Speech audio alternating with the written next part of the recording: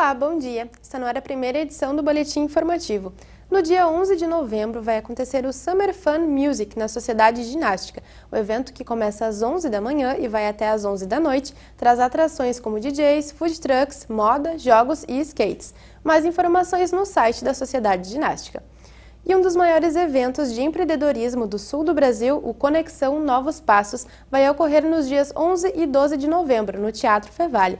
O encontro promove palestras e oficinas de autoconhecimento, novos negócios, empreendedorismo e tecnologia.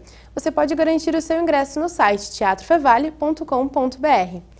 E a Sociedade Cruzeiro do Sul, mais conhecida como Cruzeirinho, pode se, tornar, pode se tornar patrimônio histórico e cultural e material de Novo Hamburgo. A Prefeitura encaminhou à Câmara de Vereadores a proposta de tombamento da entidade.